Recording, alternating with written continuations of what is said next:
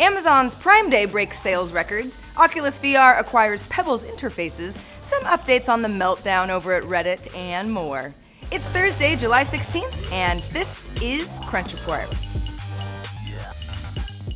Ye old earnings season continues, and today our big standout is Google. Perhaps you've heard of it. The company beat expectations with its second quarter financial results, with revenue at $14.35 billion, that's excluding traffic acquisition costs, and adjusted earnings per share of $6.99. Revenue grew by 11% compared to the year ago period, and its net income expanded. It's pretty good news. Total profit on an adjusted basis stands at $4.82 billion, and Google has $69.7 billion in cash.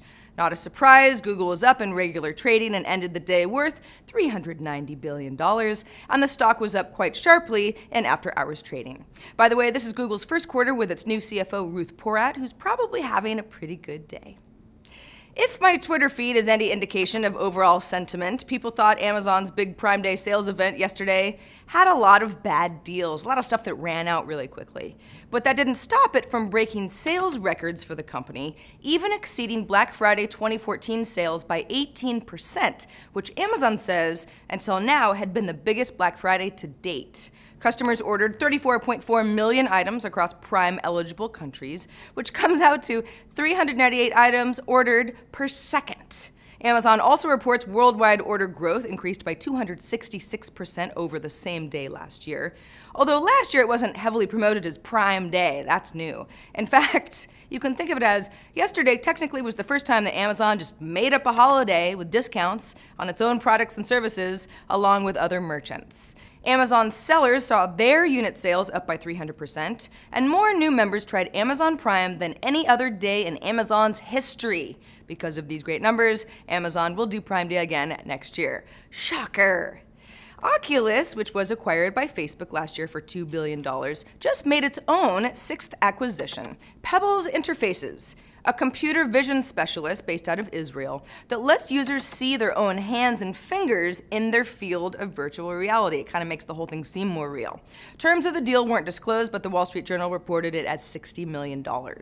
Pebbles was already one of the many developers that had built technology into Oculus's headset, so the union makes sense. Oculus says that the Pebbles team will join its hardware engineering and computer vision teams, quote, to help advance virtual reality, tracking, and human computer interaction Pebbles was founded back in 2010 and has stayed relatively under the radar, at least compared to other VR startups. Until now, anyway. Reddit's new CEO, Steve Huffman, has a big job ahead of him and held an AMA, that's an Ask Me Anything, Q&A on the site this afternoon and said, among other things, that Reddit will take a firm stance against bullying, harassment, and content that encourages violence and will hide, quote, the worst content from its site.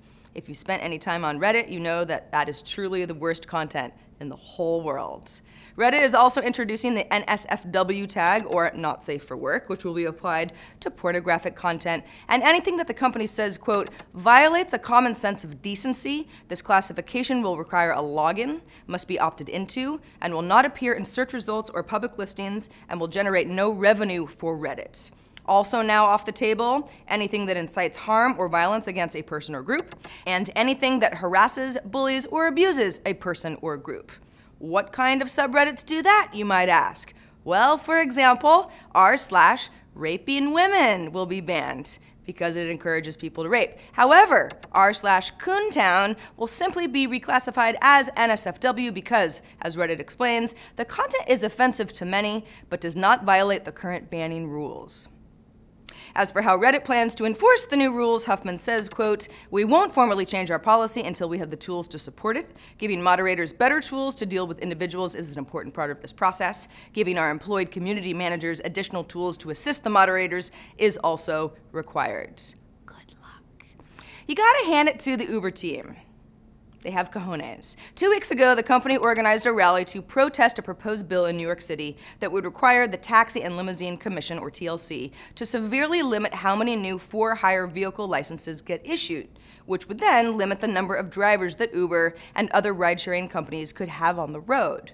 The bill is designed to last for a year while the TLC completes a study on the impact of for hire vehicle services on the city. Now, obviously, Uber does not want their growth limited. That's all they want to do is grow. And today, taking their fight directly into their own app. The company just added a de Blasio's Uber feature. It's a real feature. Now available for over 2 million New York City users that will either always show no cars available or wait times of 25 minutes. The point is, this is a terrible idea, right? But that's not all. Instead of actually calling a car like the app normally would if you decide to choose this feature, it'll prompt you to send an email to Mayor de Blasio and the City Council opposing the new bill. Uber tells TechCrunch that this will, quote, demonstrate what life for New York City riders would be like if de Blasio's plan to limit Uber is passed into law, which obviously is one step above death. If it passes, Uber will only be able to add 201 new drivers over the next year. The company says currently they add more than that to the Uber NYC platform every week, and that de Blasio's Uber would cost 10,000 jobs and make the Uber experience worse for everyone. And that is the report for today.